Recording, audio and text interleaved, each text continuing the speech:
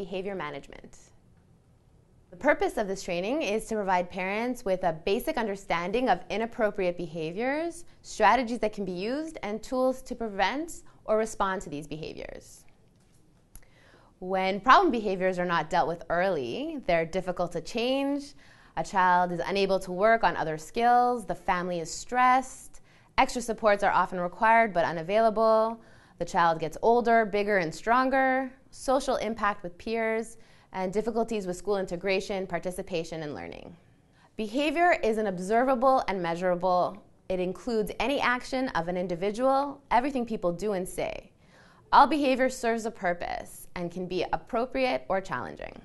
Some examples of uh, challenging behaviors would be uh, physical aggression towards self and others. Uh, so they could be hitting, kicking, biting, uh, throwing things uh, at people. They could be banging their head on the floor, on objects. They could be biting themselves on the wrist, the hand, um, just anything uh, that is physical in nature. Uh, they can also shout, scream, um, throw temper tantrums. You can also have inappropriate laughing or giggling, uh, even when the context isn't really appropriate. Uh, they'll just do like a, a, a giggle or a laugh for, for no apparent reason. And whenever you say things, uh, the laughter will just get worse. They can also be puzzled or confused. Uh, you have to remember that children with autism have uh, a, a, great difficulty with communication skills. So their inability to understand or be able to communicate with um, parents, siblings, uh, teachers creates a lot of problems and uh, often resorts in some sort of physical um, uh, release of frustration or some sort of behavior. They can also not have eye contact or the, the, they, most parents would say that they ignore uh, when they ask them to do something or they're not listening. Uh, but it may not be just that, it's just uh, their lack of eye contact. They can yell or shriek just for no apparent reason. Um, often that can be also a self stimulatory um, uh, behavior because they, they like the sound of their voice, but it also can be a reaction to uh, a demand or uh, something in the environment that they don't like. They can have an inappropriate attachment to objects. Um, that means um, they can't function basically without certain objects. And if you lose that object, it can often manifest in different types of behaviors. You may not associate that behavior with the object, but often um, they will react when the object's not found or they don't have it close by. Many autistic children are tactile sensitive. Either uh, they're hyposensitive, meaning they uh, need very strong physical touch to be able to react to it, or they react to just the slightest amount of ch- touch. Um, and many times, uh, children that are hypersensitive to touch will react negatively to uh, touch. So that means proximity can be an issue. Um, hugging, they, they generally don't uh, like it and they, they avoid it at all costs. But it can also manifest in uh, some difficult behaviors as a result. They can might have marked physical overactivity or extreme passivity. So extreme overactivity is basically um, running from room to room or pacing back and forth, or jumping up and down, or um, opening and closing doors or windows. Uh, extreme passivity, um, an example of that would be um, just sitting on the couch, not wanting to get up, not wanting to go outside. Uh, not basically not wanting to participate in the daily routine or the activities of everyday life. And the big one that most parents uh, often experience is uh, crying tantrums, where the child uh, where the child uh, has extreme distress for no discernible reason, at least according to the parents. Usually, there's always a reason for it, but it can um, be anything. And if the parents don't necessarily know what the reason is, they won't be able to fix it. So, why should we address challenging behaviors? A behavior should be addressed if it affects the child's health, learning, and social development. But first, we need to understand the behavior. So, the antecedent is anything that occurs before the behavior, the behavior is anything that the person does, and the consequence is what happens after the behavior, so the reaction to the behavior. Well, let's go through a scenario. So, Jennifer's mother asked her to clean her room. Jennifer screams at her mother, runs upstairs, and slams the door to her room. Jennifer's mother does not follow her upstairs. She leaves her alone and does not make her clean her room. So, the antecedent, which is the event that occurs before the behavior, this also includes aspects of the physical environment and the behavior of the other people. So, in the example that I just gave, Jennifer's mother asks her to clean her room, is the antecedent. The behavior, which is the action, verbal or physical or both, of the person. So, in the example that I just gave, Jennifer screamed at her mother, ran upstairs, and slammed the door to her room. The consequence, which is what happens right after the, the, uh, the behavior, is the event that occurs after the behavior. This includes aspects of physical environment and the behavior of other people. So, in the example, Jennifer's mother does not follow her upstairs, she leaves her alone, and does not make her clean her room. In order to deal with challenging behaviors, first of all, we need to understand why the behaviors are occur- occurring and if there are any reinforcements that continue. People with autism can often be overwhelmed by their senses. Sight, sounds, smells, and even light or touch can be felt more intensely by someone with autism. People with autism also find it very difficult to communicate. It can be difficult to understand what people are saying to them, and they might also find it difficult to talk or communicate with other, other individuals. Therefore, it's very difficult for them to express their needs, their wants, or their desires. Not being able to express what you want often leads to frustrations. One thing that is very important for everyone to remember is autistic students. Um, for autistic students, uh, behavior is a means of com- of communicating, and it's not a means of misbehaving. So when you have parents saying, "No, he's just stubborn" or "He's not listening," that's often not the case. In order to deal effectively with challenging behaviors, it's very important to understand the function of behavior. The first thing that parents or professionals have to take into consideration are any medical or physical issues. Any of these issues needs to be explored first with a doctor or a medical practitioner to see if they're the cause of any of the behaviors. Once the client's uh, basic needs have been uh, assessed, uh, then you can look at whether they're doing the behavior because of escape, attention, uh, to get some sort of tangible item, or because they're self stimulating. If a child is uh, doing uh, his behaviors uh, because of escape, you need to ensure that structure is appropriate for the child.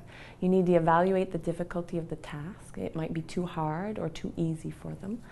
Uh, you need to evaluate the strength of the reinforcement. So, reinforcement would be uh, something like uh, do they like doing that activity anymore? Have you done it too often? Um, you usually always pair a, a, harder task, like taking out the garbage, for example, with something that they like afterwards, like playing their favorite video game or going to the park. But if you've used it too often, then it can often lose its efficacy and it no longer becomes valid. You need to follow through with your extra expectations and instructions and also a, using a token system or a reward system or timers can also be uh, useful in uh, managing behaviors. Uh, if your child is uh, having behaviors due to attention, you need to ignore the nonverbal uh, cues. Um, you limit your uh, eye contact with them as well as your verbal contact with them. you provide attention for the positive behaviors um, and so try to reinforce them as frequently as possible. If your child is having uh, behaviors due to uh, a tangible um, object or a tangible reason, um, you might need to use differential re- reinforcement of alternate behaviors, um, which means um, you might need to um, provide a greater uh, reinforcement for more positive behaviors or the closer to uh, the behavior that you want the child uh, to be at, the, the, more reinforcement that they get. Uh, functional communication training is um, you're teaching your child basically how to communicate their basic needs. Um, and that could be using sign language or pictos, gestures, whatever you feel comfortable with. Um, token systems can also be effective. Um, given that uh, over a period of time the child will get uh, specific smaller rewards, usually a token to be placed on a, on a board, and after uh, a certain number they will receive a larger reward. So, for example, if they um, do their homework every day for like three days. Then, after three days of doing their homework appropriately without having a tantrum, they will receive a bigger reward, um, like uh, maybe going to the park or maybe going to McDonald's or whatever you decide. If the behavior is caused by self stimulation, um, you can often have a, a sensory assessment uh, by an OT to just determine why they're, they're doing that behavior if it's related to any sensory needs, and then they can develop a program to satisfy those needs. You can often redirect the child to another um, activity that will provide the same sort of sensory stimulation as the, uh, the behavior that they were doing. For example, a child that jumps on a bed or jumps on furniture, you can provide them with a, a trampoline or a, a bouncy exercise ball, which sort of gives them the same vestibular feeling, but in a more appropriate way. Uh, you can also use differential reinforcement uh, when the behaviors are not there. So when they they increasingly have less and less behaviors, the reward becomes more and more. Now that we have the what and why of the behavior, we can figure out how to manage them. To help with behaviors, first we need to learn to recognize the signs of anxiety and confusion presented by the persons with autism. How should we intervene with behavior tantrums? First, back off and give them time to regroup. Stop all talking, do not try to force or explain. Allow the child to go to their calm space to calm down. Or we could not have any physical contact try to redirect the child with something of interest, something that they really like to do. Allow the child to just sit calmly or read, and do not force eye contact or, or any responses. Then, what about communication? It's really important to make it visual. Visual supports organize a sequence of events, enhancing the child's ability to understand, anticipate, and participate in those events. Visual supports supplement verbal instruction information for the child, and increasing comprehension. Supports can be used to cue communication, provide reminders of what to do and say in a situation. So, usually we use communication. What do you hear yourself saying over and over again? Make it a visual communication. And what do you hear the child asking over and over? Use a visual communication. Throughout the day, visual supports need to be portable so they can go wherever the child goes. Throughout our lives, once the child is successful, we may be tempted to remove the visual supports. But experience has shown us that as children enter a new environment and face new challenges, it's much easier to modify existing visual supports than to reintroduce new supports, which have, which, or reintroduce supports that have been taken away. Independence is our goal. Visual supports promote independence by providing visual cues which can eventually be used by the child for self prompting. Verbal cues alone can create dependence on other people. In order to enhance communication skills, uh, autistic children may need visual schedules uh, using pictos. Uh, either they can be cartoon images or real pictures. Task lists, uh, such as a morning routine, what they need to do in the morning to get to school or communication binders, which is um, basically for mostly nonverbal children in order to help them express their needs. Mini schedules can also break down uh, an activity into more manageable steps. Uh, they are used in visual form uh, and they're usually uh, a type of task analysis. Examples of other routines which, which lend themselves well to a mini schedule uh, are washing dishes, circle time activities, assembly task, uh, cooking tasks, and bathroom routine. Communicating the concept of no uh, Uh, often the questions we hear children asking over and over are receiving a negative response. So rather than getting caught in the no game, we recommend using the universal no symbol. And that's usually a, a picto with a, a, the circle with the line through it. Or you tell the child what he can do uh, using a choice board. Giving choices uh, whenever you can uh, will, will give the child uh, a sense of uh, control. Um, being able to make choices, and even the simplest, uh, is more empowering to the child and increase their positive behavior. You need to look for opportunities to present choices uh, whenever you can, whenever you're trying to teach them or whenever you're playing with them. Make uh, choices visual with pictures, words, or the objects themselves.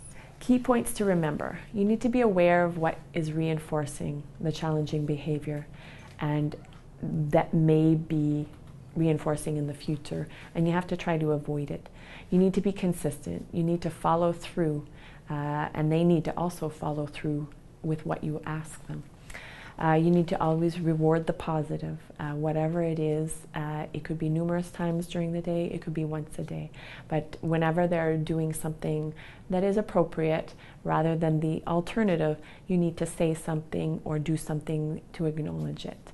Uh, you try to deal with the behaviors when they first occur. So you don't wait half an hour or even 10 minutes. You need to deal with the behavior right away in order for the child to make the connection with the behavior and what you're asking. You need to plan ahead. That means, um, for example, if a child is really, uh, they don't like crowds. Uh, try to avoid uh, going to the malls when it's really, really crowded or going to the park when it's really, really crowded, um, just to avoid certain situations. You also need to choose your battles. Is it really important for them to uh, put their shoes in a specific place or uh, make sure that all of their stuffed animals are put on a shelf that you choose? Um, you need to be patient and don't give up because uh, behaviors uh, take take some time to to dis- extinguish themselves, and uh, if you give up, then they often come back twice as bad. When possible, allow your child a sense of control. So, like we were saying, provide as many choices whenever appropriate. Don't take it personally. Uh, this is a hard one for parents to understand because uh, when a child doesn't listen to you or has a temper tantrum, most parents take it personally and it's hard not to. But you have to remember this is, this is their reaction and it's also in your control to reverse it. You need to redirect the inappropriate behaviors to more functional ones. So, um, for example, uh, jumping on the couch. Um, they, they could jump on a ball. Uh, so it, it's, it's the same sort of behavior, but it's in a more appropriate way. Um, and don't be afraid to ask for help. And the last but not least, uh, you need to remember for a child with autism, the behavior that you see on the outside may not necessarily what is explain what is happening on the inside.